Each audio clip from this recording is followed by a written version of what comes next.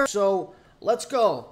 The killer claims to have an IQ of over 150. If I'm chipping away at that timeline, it can be exculpatory for you, meaning that it excludes you as a suspect. I know, my vernacular is very good, so you don't have to explain your words to me. Little does he know, he's about to show exactly what you shouldn't do in a police interrogation. I wasn't in the car when I went to the Starbucks. Did you lie to me? I didn't. I didn't get you on that one. I feel like I got you. On the 17th of February 2019, David Wright and his friend Christopher headed to a drug deal on a street corner at 3:40 a.m. Except this was no ordinary drug deal. It was actually a setup for a robbery on both sides. David demanded his buyers hand over their belongings, to which they responded by pepper spraying Chris and running. Seconds later, David drew a revolver from his waist and fired a single shot into Raul Quadros' chest, killing him instantly. David and Chris fled the scene and buried the revolver in a field, and went about their nights confident there was no way they could be caught. But unfortunately, they were almost immediately identified through multiple cameras around the area everything went down in. David was brought in two days later, but still believed the cops would never find him guilty, and that his extraordinary intellect would carry him through the case. How wrong he was. So, like I said, I mean, it's already been in the media. Four people have been arrested. It's not like we don't know what happened to some extent, you know, but there's always more that we don't know from every single party, right? Everybody has a little piece of the puzzle. We don't necessarily get the truth from everybody. So, I would like to hear from you what happens. Well, I have no clue. I, I'm just now hearing about this. So, I mean, the whole I don't know what you're talking about is kind of out the door at this point. I got several people who've already identified you. You're identified on video. So it's not a question of that you were there. It's more a question of what led up to this. Because I don't think this is what was actually supposed to happen. Right? So you're just going to play that, that you have no idea what happened because you weren't there. I was not. No. Not only was David identified by multiple people through CCTV footage, but he also had no alibi and Facebook. Drake story Drake mentioned you on IG. Why am I even opening my fucking phone, bro? Why the fuck am I opening my phone, bro?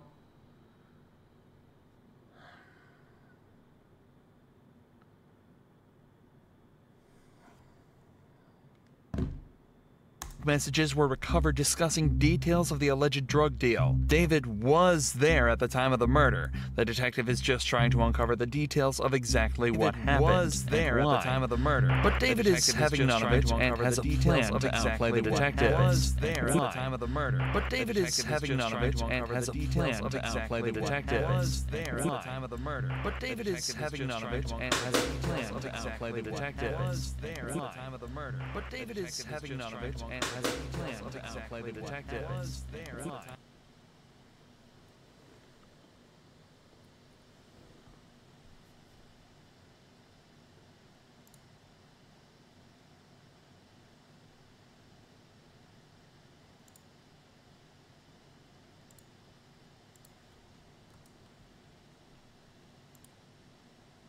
Not helpful to you really to just be quiet and not say anything. Because what I have are people who are looking out for themselves because they don't want to catch charge.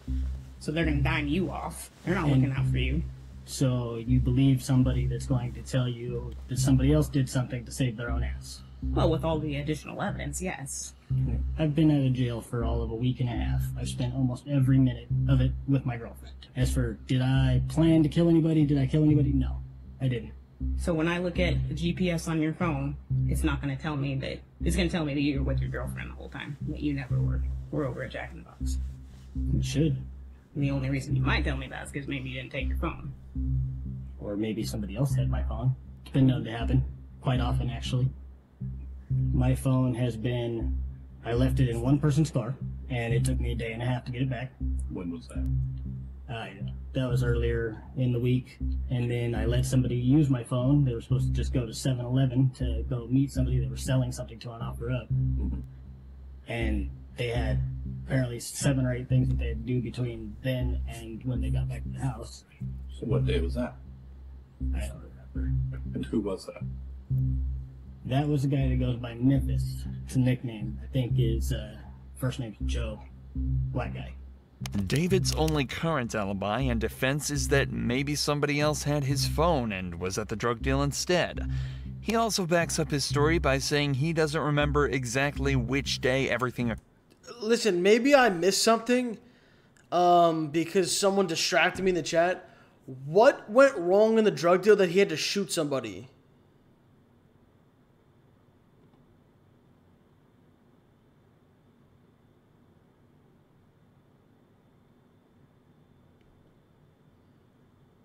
Oh, they try to rob him.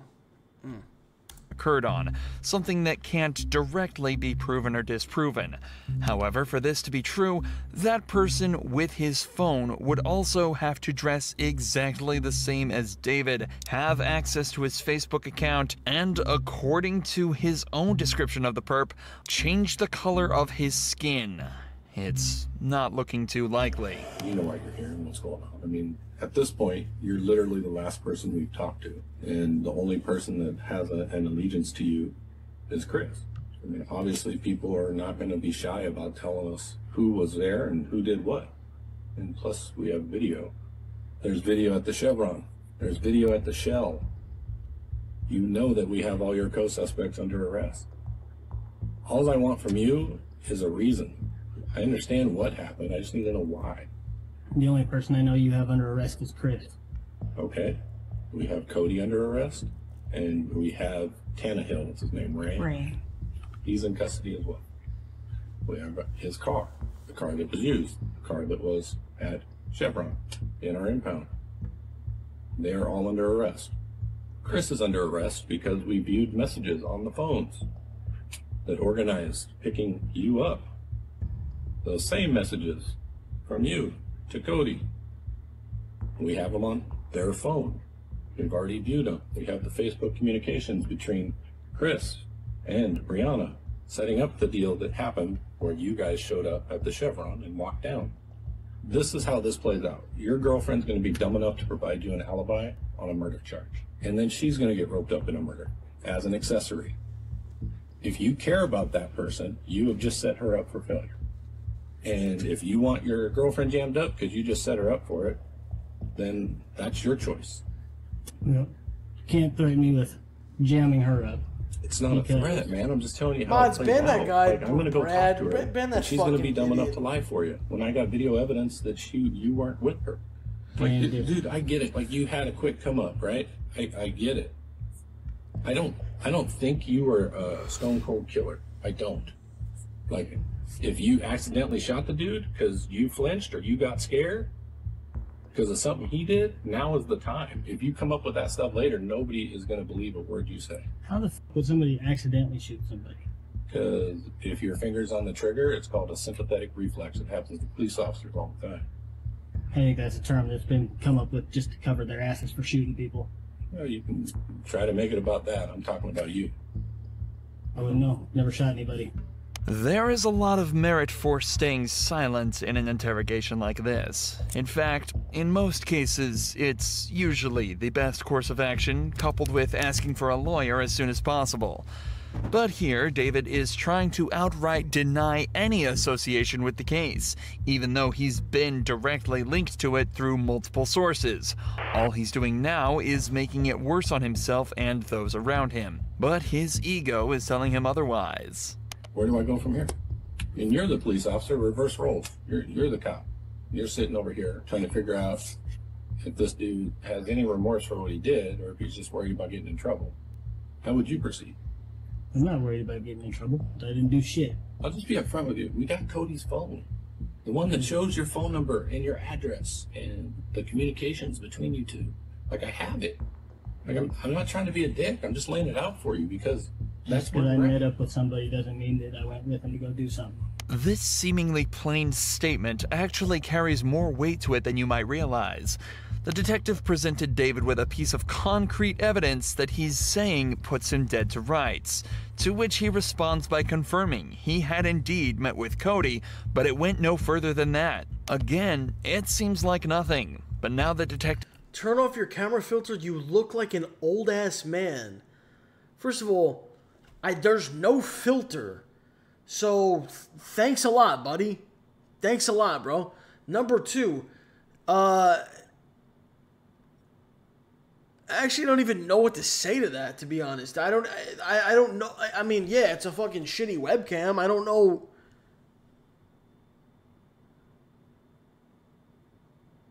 The fuck?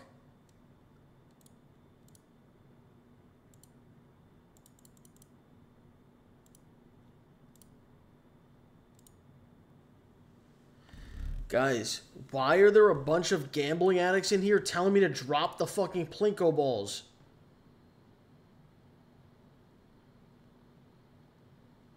And I still want somebody to find out how that fucking catfish fake ass OnlyFans account made screenshots and videos. Like, how the fuck did they do it, bro? I need to fucking know, bro. Please, someone let me know. Thank you for the new sub. detectives know this tactic works on David, they can attempt to use the wealth of other evidence they have to slowly extract a full confession from him. Okay. So when did you meet up with Cody then? One, two o'clock in the morning, something like that. On what day? Why would you admit that? Maybe Saturday or Sunday. Okay. Where did you meet up? Uh, over by my house. Okay. And who was with him? That I don't know. Was he alone? When I met up with him, yes. So why did you meet up with the dude that you didn't know? Because my friend Chris had asked me to. Okay. And so what happened after that? Well, he had tried to proposition me for a handgun. Mm-hmm. I told him I didn't have one. Okay. So, Did he say why? No. So you guys meet up, you have this conversation, then what happens? He leaves. And how did he leave? Well, I walked back to my house and he walked back to whatever vehicle he was in. Okay. Why did you leave that out when we first started talking? You think that might be important that the guy under arrest for murder came to your house looking for a gun? Well, if I had given him a gun, then I think that that would be important. Well, it shows his intent. I mean, of course, it's relevant to the case, right? People buy guns for all sorts of reasons now. Yeah, but in this instance, there was a murder.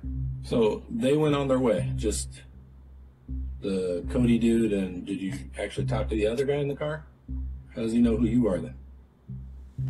Maybe my name was mentioned when they were coming to meet me. But he didn't see you. Unless he seen me when he was parked. But you didn't see the car. I didn't look for the car. Unless I'm coming to meet somebody at their vehicle, I don't ask what vehicle they're in. Well, that's not. And, and again, don't take this the wrong way. I'm not trying to insult you, but that's not very smart. You're meeting somebody to sell guns, and you're not going to watch around you to see where they come and go. Not very He was smart. referred You to me by somebody that I trust. Okay. I would still be on my six. So you clearly have a general distrust of the police. Is that fair to say? I distrust almost everybody. Being honest with you about the information that we have, trying to give you an opportunity. And I, I, I- mean, you've already said flat out you don't believe that, that he has that information. But I mean, with everything he's told you, you have to know that what he's telling you is true. Well, whatever you have, you've got from people that may not necessarily be giving you information for the best of reasons. So, Take the people out of this. Take them out. Who cares about people? We've got other stuff. Communications and all those types of things. The video. So it's not just that people are telling us this. We're not relying 100% on people. If we did that, we'd be stupid, right? I like to think I'm not that dumb. You take a totality of everything that we have. We know you're involved. And for you to sit here and just say that you you don't have anything to do with it doesn't make any sense. I think that you guys have me confused with somebody else. This interview has now been going on for over 40 minutes, and almost no progress has been made. Forcing him into a corner with evidence doesn't seem to be working, and neither does running through Bro, why are you saying check Rumble? What do you mean check Rumble? The fuck? What do you mean check Rumble? Rumble what? Ru- the following on Rumble.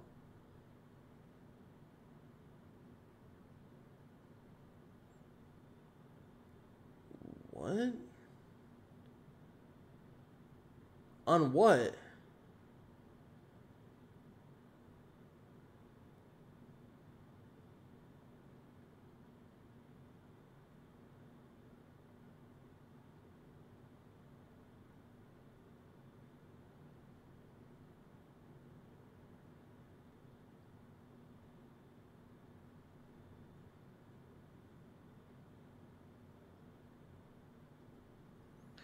I don't get why you just said that Rumble followed me. I don't even know what that means, bro. through the events of the night, or even explaining why what he's doing is a bad idea for him. So instead, the detectives almost completely switch up and begin to threaten him with the consequences of his actions on his own friends. Dude, you're not this guy. You know you're not this guy. If you were, this conversation would be different. Yeah, I'm obviously not this guy.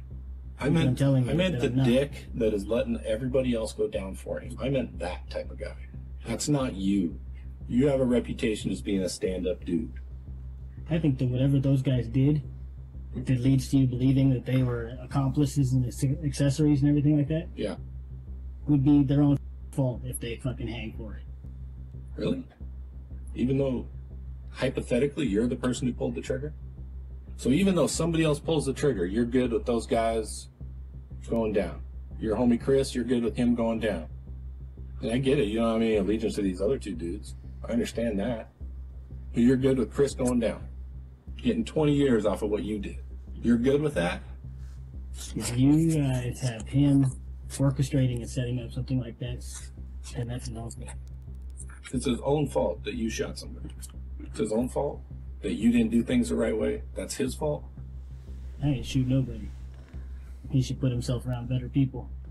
Okay. you know he's gonna read this, right? I mean, he's gonna have disclosure. It's fine. I'd much rather not see my friend get in trouble, but if by you saying that you guys want me to tell you that I did something that I didn't do, Fair enough. I don't want you to tell me that you did something you didn't do. That's not what I want. I want you to admit to what you did do. Because it's not even a question that you did it. It's or wasn't a question, you wouldn't be sitting here trying to get me to admit to something I didn't do. I would because it's the right thing to do. Like I'm really trying to. I want to see how this ends. It's not even that much longer, and someone just wrote, "How long is Los's pubic hair?" Not even. How long are is Los's pubes? No. You just wrote, "How long is Los's pubic hair?" Like one singular pubic hair, bro.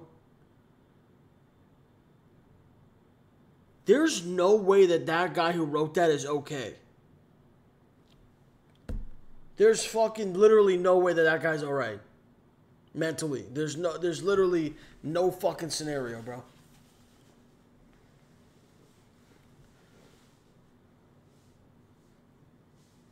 Answer it. Yeah, okay. Answer. Yeah, I'll get a fucking measuring tape and fucking measure my pubes for the fucking serial pervert in the chat, bro.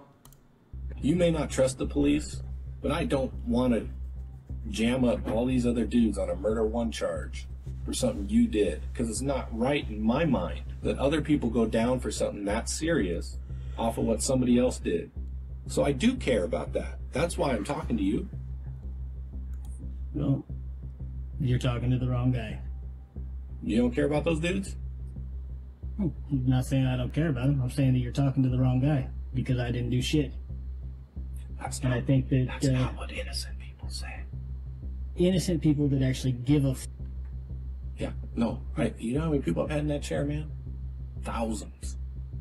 I don't. You don't give a. You don't give a. F- that's you. Like, in, enjoy your time. I don't care. Then I don't. I don't have any uh, hard feelings for you. I'm just gonna move on to my next case. I just want you to know this isn't about you. This isn't personal. Like you can say you don't care, but I actually think you do. I think you're being. So, with that said, so uh, you agree that uh, there's nothing more to say, right? If you don't want to talk to me, there isn't. Well, I don't want to talk to somebody that's going to keep on calling me a liar. I have yet to call you a liar. You've made the implication that I'm lying to you. Because you are. But there's a difference between calling someone a liar and then pointing out inaccuracies in their story. There's a big difference. One is disrespectful, the other is not. Have I been disrespectful to you? Have I been disrespectful to you? Have I insulted you or, or come at you hard or done anything other than You called me a liar. Yes, you did. You were lying. I'm not lying. Do you not freely admit that you lied to me in this interview Where did I lie to you? about meeting up with Cody, about being home, not going out at all, and then now you periodically are going out? Would you not concede that both of those things were lies? I don't go farther than a couple blocks from my house on foot to meet somebody very quickly and come back. Okay. That's not So, what you told me. that's Because you pretty don't much leave being your home. house. I don't leave my house. I was home all weekend with my girlfriend. It's on tape, man. There ain't no secret. Like, Dude, I've got to walk my dog. Of course, I leave the house periodic. okay. But as for did I go anywhere? So you were never at casino in Evergreen, anywhere near there within three or four blocks Saturday night. I just want want to make sure that we have this down. Let's see. Sunday morning. How far is the Starbucks on Evergreen? Which Starbucks? The one on 75th. Yeah, no, Too I'm not far. talking about that. Okay, yep. Then no, I wasn't. Okay. So you're at the Starbucks on 75th? Earlier in the evening, yeah, like 8 or 9 o'clock, something like that. Well, that's not home. Did you lie to me? Can I No. get a, I don't even get a smile out of that one. I didn't. I didn't get you on that one. I feel like I got you on that. Blatantly caught in a lie, it might not seem like it yet, but David is starting to get uncomfortable. If it's not been obvious throughout the whole video, the only thing he cares about is his own ego. So now that that's been damaged, he's immediately on the back foot, and it's up to the detective to keep pushing and try to get him to move just that little bit further. Were you with someone? Yeah, Who? another woman. Who was that? I'm not gonna tell you that because she'd be very upset. Yeah, but it's a homicide. They can help prove that you weren't involved. How? Because if you're with her, right, that that gets my timeline tighter. So you were with her from eight to when? Not very long. So you don't. Half Wanna, hour at most. so you don't want to tell me who that is? I really don't. Okay. Were you in a car? You're on foot I rode my bicycle. To 75th. Then how'd you get home? I got a ride from her with my bicycle in the back of her SUV. So there was a car. Did I get you there? I feel like I got you there too. Yeah, Saturday I appreciate night, it. I'm just Sunday looking for honesty, man. I mean, uh, at this point, I'm I feel comfortable that you have lied to me several times. I'm looking for honesty so that I can rule you out. If you asked where I was Saturday night, Sunday morning, I did. yeah. So Sunday morning, late Saturday night Yeah. Doesn't cover eight or nine o'clock in the evening. Oh, okay. So then let's rewind. So Saturday morning to eight o'clock, where were you? Most of the time, at home. Can you just lay it out for me? Why do I gotta like pull it out of you? Like, just I'm asking where you were, man, so I can rule you out. For the first time, Buddy, can someone, bro? This dude's in the chat spamming my tip burns. When's the next truth or dare for 5K? Um, we got some more shit coming, bro. Don't worry. time in an hour he's been sat in the interrogation room, David moves his hand from his lap and adjusts his cap. His hands have also been moving around very slightly and he's been stuttering over his words.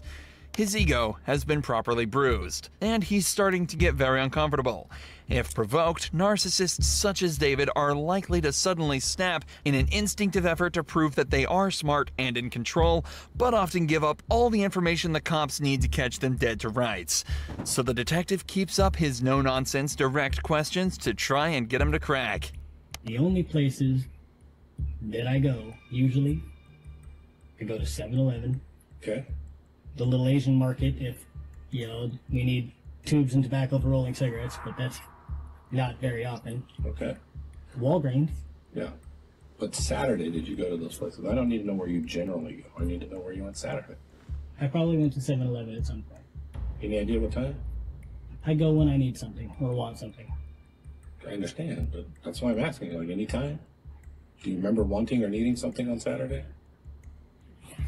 No, I don't, because I don't feel like I need to track every one of my movements and shit like that, because I don't need to have a Loctite schedule of what I'm doing and where I'm going. As long as I'm at DOC on Thursdays between 1 and 3, and I make my appointments with Ideal Options, then doesn't seem like a big deal to me where I go.